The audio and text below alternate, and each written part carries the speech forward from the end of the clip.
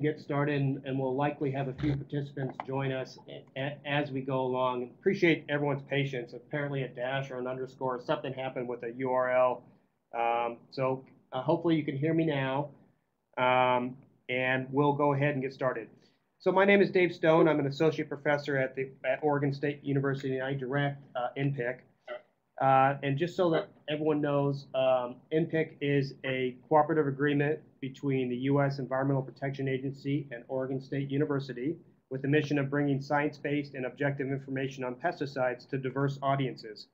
Today, you'll be listening to a webinar entitled Take a Tour, Become a Pro, NPIC's new pesticide search tool, NPRO, which stands for the NPIC Product Research Online. And today you'll be hearing from Amy Hallman, who's a senior pesticide specialist, as well as Sean Ross, who's the IT lead for the NPIC project. Before I turn it over to Amy, I have a few logistics to cover. Uh, to facilitate the flow of the webinar and to get us uh, back on track, we'd appreciate that if anyone who is calling in on the toll-free number to please mute their line by hitting star six. You can also listen to this uh, through your computer speakers, which we have placed a global mute on. If you have any questions, please use the chat function. At the end of the presentation, we'll go back and review the questions, as well as ask people to unmute their phones if they want to ask questions at that time. We'll be recording this webinar, so if you have any colleagues who wish to view the presentation, particularly if they weren't able to get in, uh, we'll send follow-up information on how to access the recording. And finally, I'd like to note that this is a, a really a, a, beta version of the current NPIC tool. And while it's fully functional, it represents really our initial stab at getting this right. We've already identified some additional features that we wish to implement, and we invite you to use this tool and welcome any comments you might have to help us improve it. So with that, I'll turn it over to Amy. And again, we'd like to express your thanks with being patient for joining us today. Thanks, Dave. Um, yeah, we're actually really excited to see how much interest there has been for NPRO. Um, so let's go over a little bit about what we'll talk about today.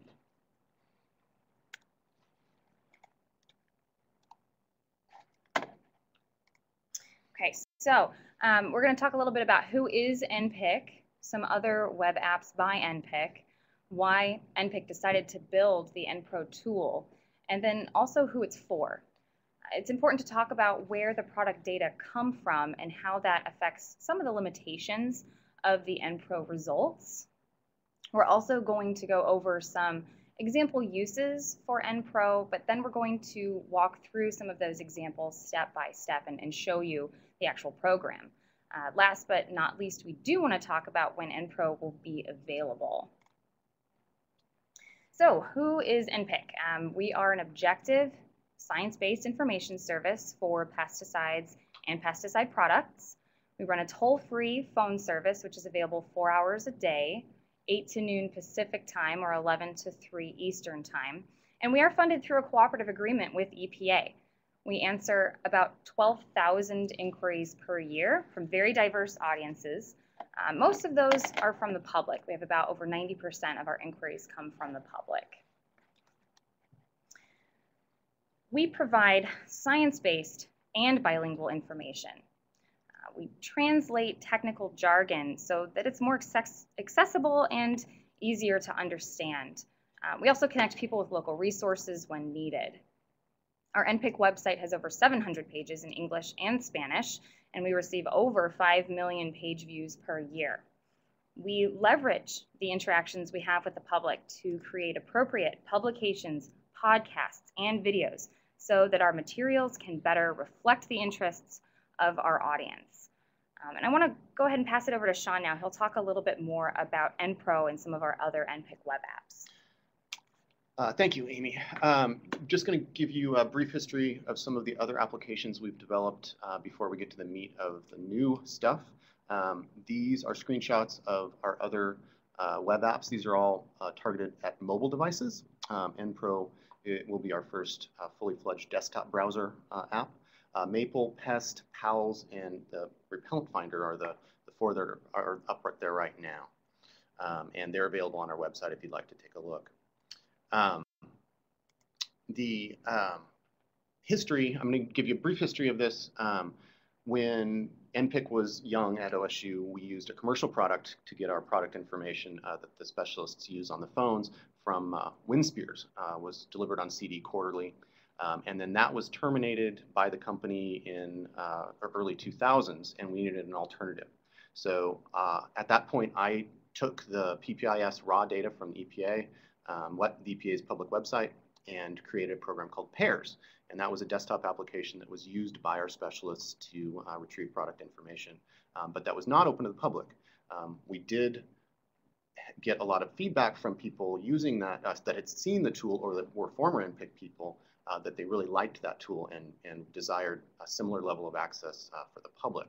So um, we now have a mobile product version, um, that's Maple. It gives you a subset of the features in uh, pairs in NPRO. Um, and now we are releasing NPRO, which is a fully fledged um, uh, desktop operating or desktop browser version um, that actually has, has more features than, than the original pairs did. Um, so Maple was designed for professionals using mobile devices. It's available to the public. It is still it's still there. It is optimized for mobile, so it's it's a, the best choice if you have a, a phone or tablet. Um, and you can search by these these six uh, parameters.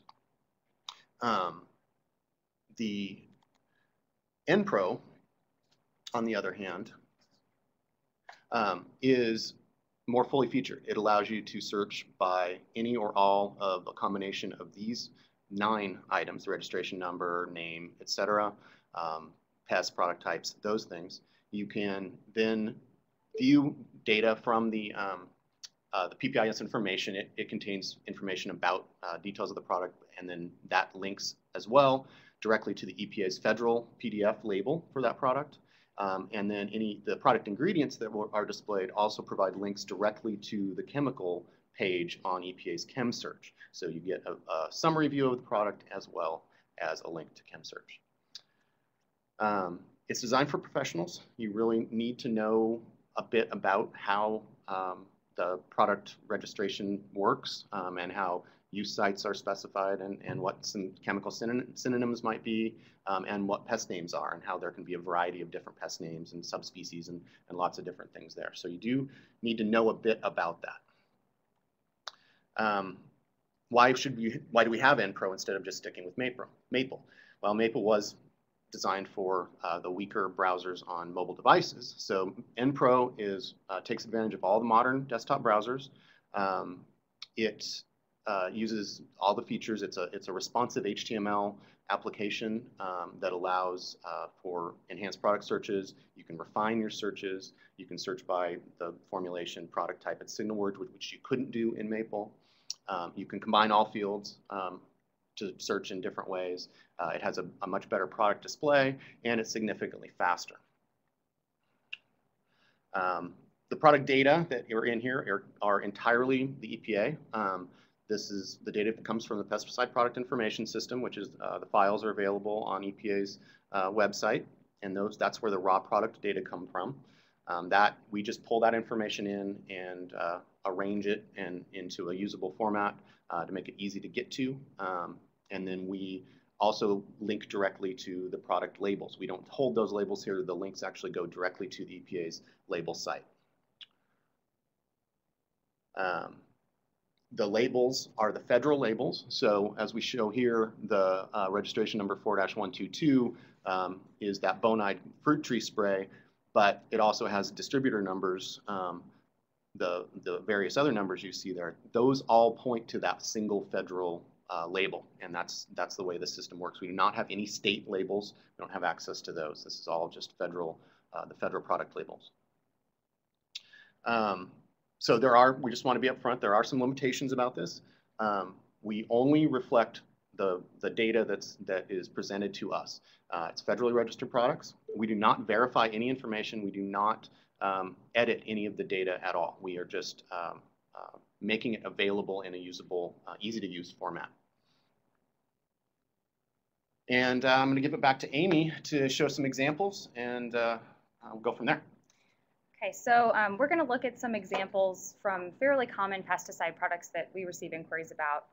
Um, first, we want to ask, can we find the active ingredients in the label for a product where we actually already have the EPA registration number? So we're going to go back to a fruit tree spray. Second, we want to try to find those products which have 2,4-D as an active ingredient, but that also have a signal word of caution or considered low toxicity.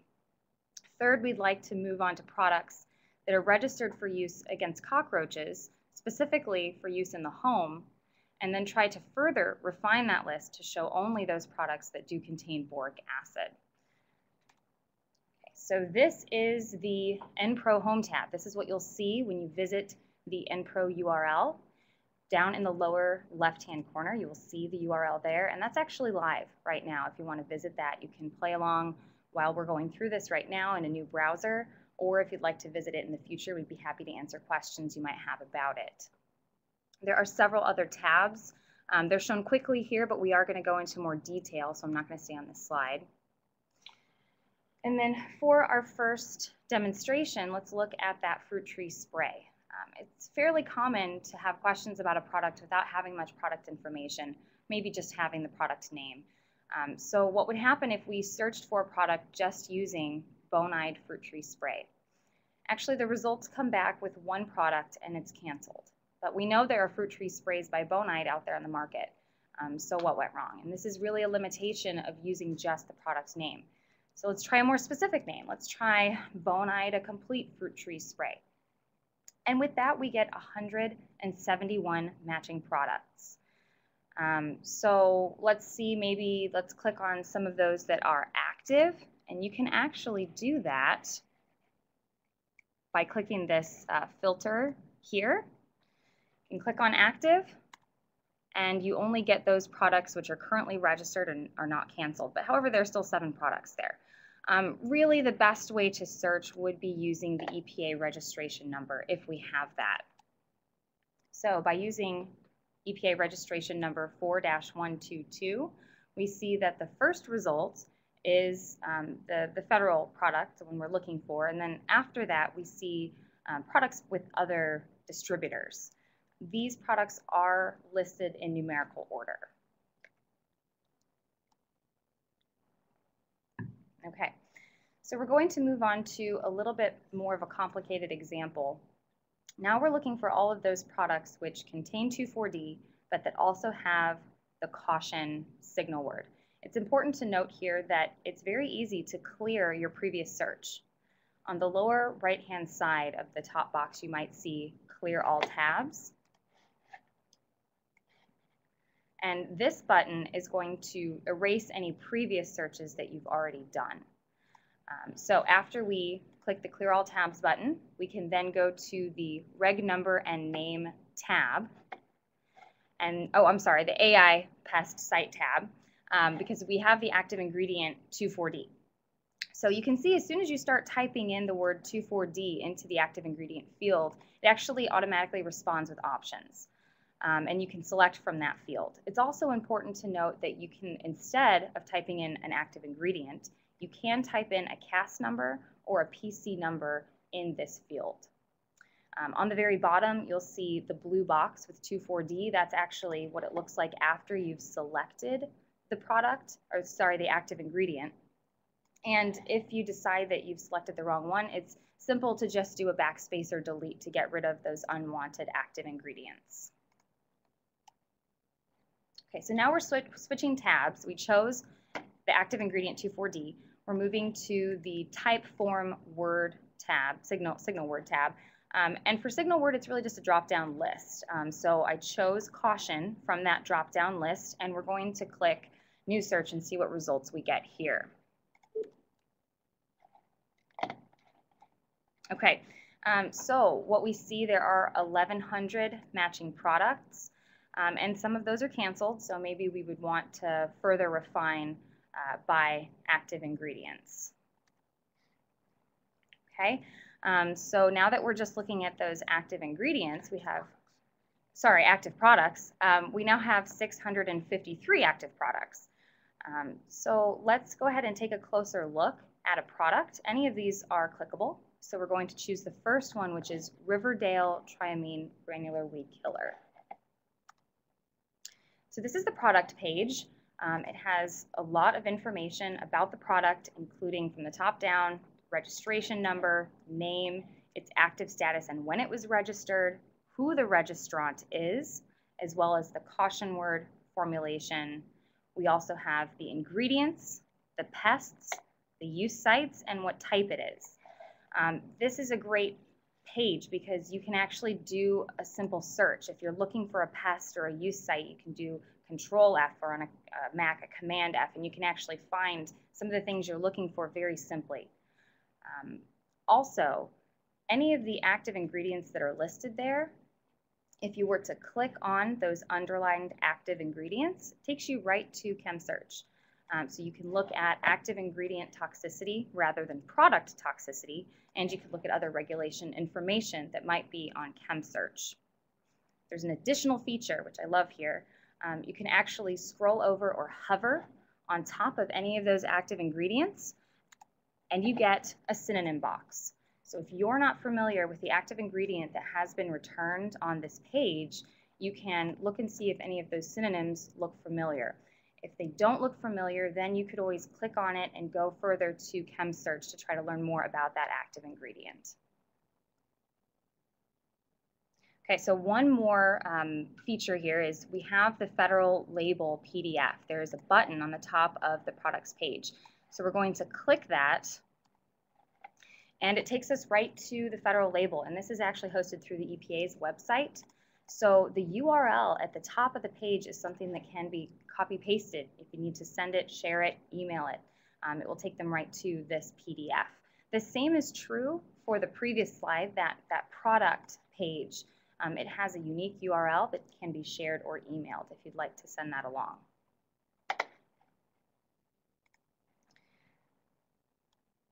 Okay, so for our third example, we're going to try to complicate things a little bit more here. Um, we're looking for those products that can be used to control cockroaches within a home. So I, I again went to the clear all tabs button on the lower right hand side to get rid of any previous searches that I've done. And starting at the active ingredient pest and site tab here, um, I'm going to start typing roach into the pests field and we get lots of results. It's actually very important to notice here that there aren't just these six or seven results, there is a scroll bar on the right-hand side, and there are many more options to choose from here. You can select as many of these options as you think are necessary to complete your search effectively. Um, so in this example, I'm going to choose the German cockroach and the American cockroach specifically. I'm going to look for products that are going to control one or both of those, those pests. And when I do that search, um, I get 1,600 matching products. So these are active, canceled, all of those. Um, and that seems like an unwieldy number of products, but I'm going to go ahead and search by use sites to see if I can find products that can be used in the home. And when I selected homes indoor, um, it reduced my list down to 34 products. Um, just knowing a little bit about pesticide products, that seems like a really small number. I'm actually a little worried about that number. I'm wondering if I did something wrong. And this is kind of where experience in the pesticides world comes in handy. Um, and so to kind of augment this a little bit, I'm going to go ahead and add another use site. I'm going to add domestic dwellings. And look at that number, jumped up from 34 to over 1,100 matching products. So we have a lot better, more um, widespread search here now. But we want to take it a little bit further. We want to look for those products that only have or that at least include active, uh, the active ingredient boric acid. So we're going to pop up to the top field, active ingredients, and we're going to include boric acid, and we can click down on refine previous search. So it's kind of like a search within a search here. Um, and now we only have 15 matching products, much more manageable number. Um, also, some of those products are canceled, so it's, it's, it's likely there are fewer than 15 products there. Um, you know, we understand that this can be kind of a learning curve and it can be difficult at first. If you have questions, if you think that you should be getting different results, if you think that, that what you're receiving isn't what you expect, please do contact us and we'd be happy to either help walk you through it or maybe give you some tips, some pointers to make it a little bit more of an effective search for, for your needs. Um, and with that, we would like to mention that this webinar today will be posted on our YouTube channel shortly, hopefully within one week, as well as on our website. Um, and in the short future, we will also be making um, a shorter version of a tutorial with step-by-step instructions on how to use NPro. We currently have other tutorials both on our YouTube site and on our, um, our website at NPIC that help you use some of our other web apps. So we're going to add one more, I have the NPro tutorial. In summary, um, you know, NPro, it allows us to search for pesticide products using one or a combination of up to nine criteria. You can also view the federal pesticide labels as a PDF, and you can also link directly to ChemSearch by following those active ingredients on the product pages. NPro, like I said before, is currently available. Please follow the link if you'd like to play around with it a little bit uh, or in the future. Please share it and link it with any other interested parties. Again, if you have questions about using NPro, please do contact us. Our phone number is there. We'd be happy to help you. Um, also, if you had feed feedback about today's webinar, please do email us. The email is there below the phone number. Um, and with that, I believe we have plenty of time for questions. Great. Thank you, Amy. Thank you, Sean. So at this point, um, please unmute your phones or, or we didn't see anything come in through the chat function. But if you have any questions, uh, fire away. We'd be happy to uh, ask them or address them.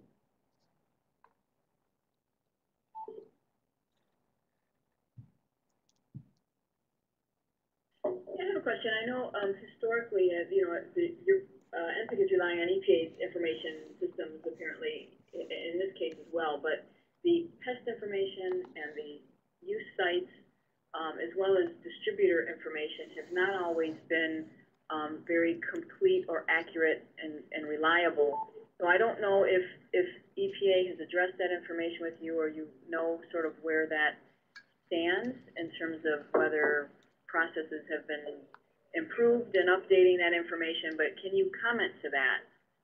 Yes. The ability of these to really capture um, completely and accurately the um, some of those areas like pest and use site and uh, distributor products.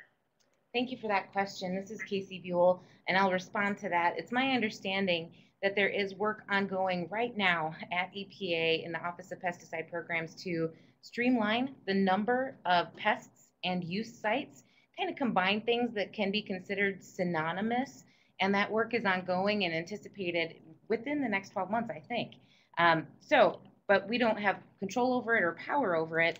When you say the distributor uh, label information might be incomplete, um, it's my understanding that a distributor product that is registered with the EPA does make it into the PPIS, but sometimes even those distributor products, they only provide one name, but they might be sold under several names. So that's another weakness about the product name field. We can't emphasize enough uh, that the EPA registration number is key to finding the, the best and most accurate piece of information about a product.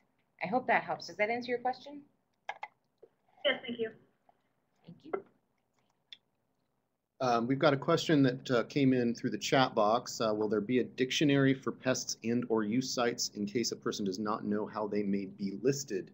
Um, we could do that. We could provide a list um, of those sites. Um, and, but that doesn't necessarily tell you what they mean.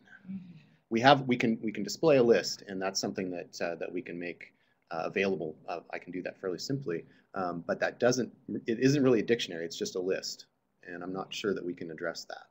I think given the fact that we're, the streamlining is in process, it's probably not a good use of time to organize the ginormous list of, of pests and sites um, into a dictionary at this time, but rather to wait for that improvement to take place. And in the meantime, if you're struggling to fight, figure out what kind of search term you should be using, please do give us a call. We've been working with this data set for over a decade and training new staff on it repeatedly. So we're, we're pretty good at it now. So um, do rely on us until the, the use sites and pest names have been streamlined. We've got a question being typed into the box, it looks like. I have a question when you're searching in the AI pest site uh, query box and you're entering multiple pests. Are the products listed going to be registered products for all of the pests listed or one or the other? Um, yeah, it, it's an, it, it's an or query, so it's any, any of the pests in that list. Any one of them. Yeah, any one of them will Or match. combination. Yeah, It might be nice to indicate that somewhere on the page, just so it's clear. okay, yes, I can do that. I can do that. Um, we have a question from Mike, um, in the chat box. When looking at the product legend, is active non-RUP products? Um, the RUP products are shown in purple, um, on that list just to distinguish them. Their status is shown on the product page. So if it's a canceled RUP product, it would still show purple just to distinguish it. Um, so the, to to find the active versus canceled, um, I believe it's, yeah, you, you need to look at that. Um, are there any, let's see, from IRP um, on the chat box, are there any wildcard options? Um, not as such. Um, the, if you wanted to search for all of the uh, roach products, for example, you'd have to choose all of them um, in the all the roaches in the list of pests. But it does accept that. Um, that's something we may consider um, adding in the future. Um, is some sort of uh, you know a star or, or um, something like that in the search box. Um, right now, it looks those up um, from a list and then puts them in so that the matches are exact. Um, and they, um, I'm- sorry, very quickly, the, um, and the string searches are contains searches. So if that string that's searched, um, if in a product name or registrant name, for example, if it appears anywhere in that, in a product name, um, it will match. So it, it, it doesn't have to be exact. So that's a substring search in, in that case for those. Uh, but the products, the pests and, um, pests and sites, um, you, and active ingredients have to be chosen from their lists. So sort of a follow-up question or comment, um, regarding the or search. It would be nice to have the capability to make that an and search. I don't know if that would be possible to build in. And likewise with the list of sites, I think it'd be very helpful to have that list. And gosh, it would also be really helpful if you could have that string search feature. Because so often, the use sites, you know, there's redundancy, like we all know. It, it would be anything you can do to make it easier to make sure that uh, the search really looks at all the relevant use sites would be very helpful. that can be a double-edged sword as well. Um, I mean, we do have, if you, if the, the about page that we didn't show shows that we are, you know, we want to be sure that people look at the labels. Um, this, this, the product page displays what's in there, um, and it does show those sites, but um, a wild, the wildcard searches or substring searches might show you things that would be like sites that you weren't expecting and give, re- return those products. And I, I wouldn't want people to think that a search that they got a search result list and that list of products was guaranteed to be you know usable on site X when it happened that a substring match worked there. So I can definitely I, I can definitely understand the the desire for that and the um, the and versus or searching um, those kind those kinds of features are definitely the kinds of things that we're looking for and I've I've been thinking about that stuff as we've been developing this version one. Um, we've got um, I've got have some stuff planned already. Um, I'd like to make it so that um, right now it searches when you click the search button or the refine button, it searches all the tabs, whatever's in them, and that's and then you can clear them out. I'm going to make it so that you can search only one tab or all tabs. There will be a button for both of those, so you can distinguish that, and you know you're getting only the re results on that one tab you're looking at.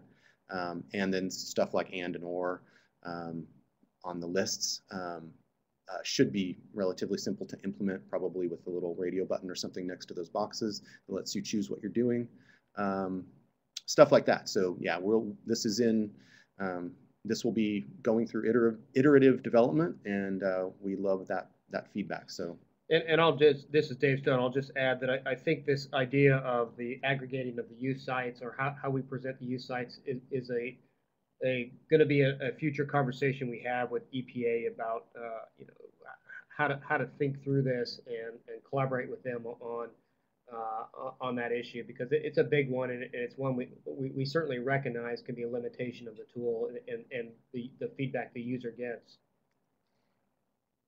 we've got a question being typed in the chat box. Uh, well, maybe not, maybe not. Sorry, Dave, Dave? Yes.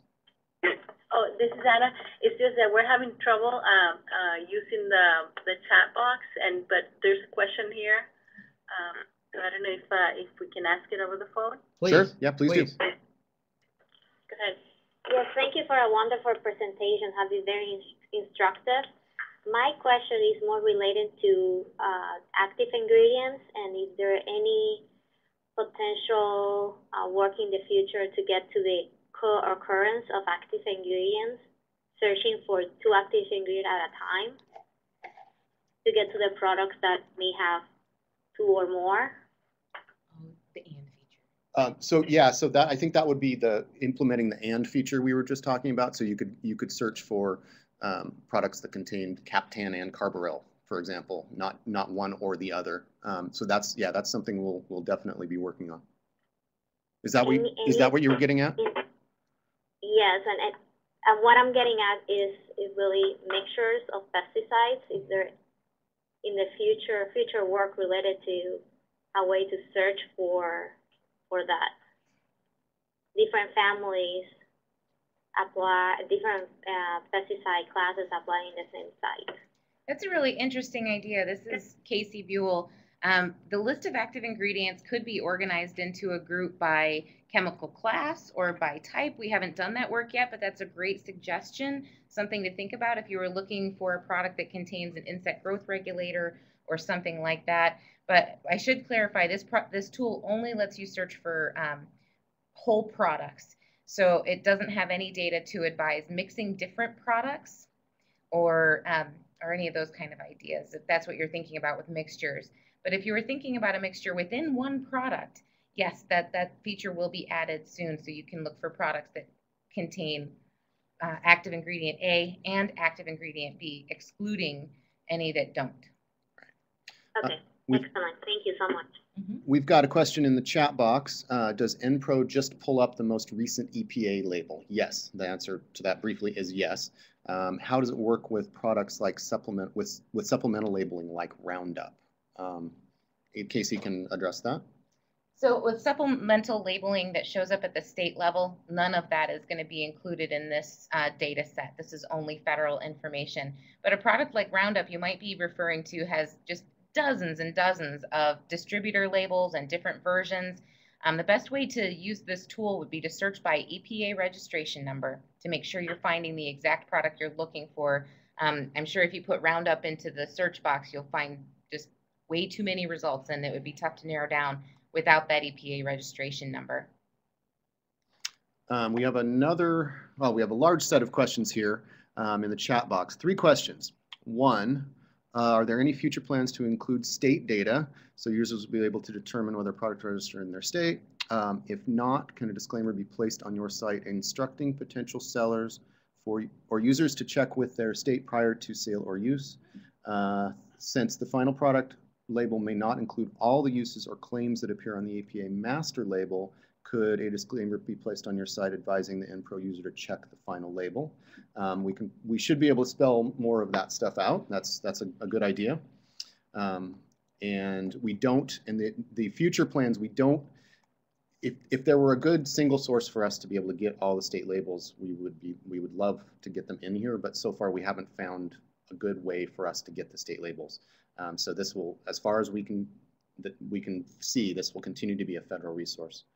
Um, there's another question uh, from Region 9. Would you consider adding ability to search on environmental hazard statements, bee hazard, groundwater hazard, etc.? Um, we don't have any of those in the data set that, uh, that we get. So if, if we had access to that data, we would ha be happy to search on it. But, but as it is right now, the, we are, the PPIS data does not concern, uh, does not contain any of that information. I think that's an interesting idea, but right now that data, as you probably know, is buried within the labels. So there's no way to get it out without reading every label. Um, but I think that's good feedback, especially for EPA to hear, for those of you on the phone, if um, that field or fields could be added to the PPIS and um, coded, because I know every product has to be evaluated for bee toxicity and, and uh, precautionary statements chosen. So it'd be great to have that coded so it could become a search feature. Yeah, yeah.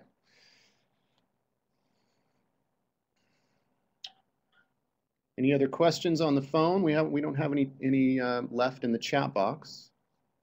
I, I do have a question. Would, would this site be of any value if I was trying to find a tolerance or an LC fifty? Um, no, the, uh, that should be in the, um, available on ChemSearch with the, um, if you link to the chemicals directly, um, from those products. So the links to ChemSearch are there in the product display, but we don't have, that. it's not information on the product label. That's right. That's right. So if you click on an active ingredient in the results set, it'll take you to ChemSearch.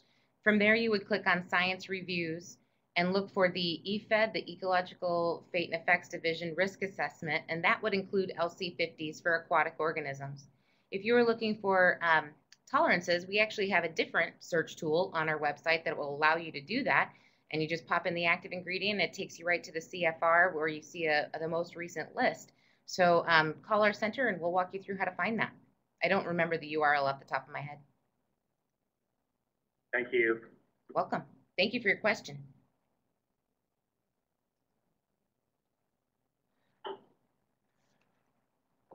Okay, if there's not further questions, uh, again, we appreciate your patience with a little bit of a rough start with the URL linking to the presentation. Uh, we will certainly be posting this again, uh, or, or, or posting the video recording, and perhaps actually uh, doing this again uh, to make sure that uh, those that couldn't chime in, that want to hear it live and ask the question live, have the opportunity to do it. And again, I'll just wrap up with, um, you know, we really hope to hear from you, the, the, the potential users and stakeholders of this tool, on the ways that we can improve it. We certainly heard things today that we're going to act on and consider uh, that will help make this tool better. Uh, but, but at any time, feel free to give us a call, email us, and uh, love to hear the feedback. So with that, I, I wish everyone a, a happy Thursday, and again, thank you for attending this webinar. Thank you very much.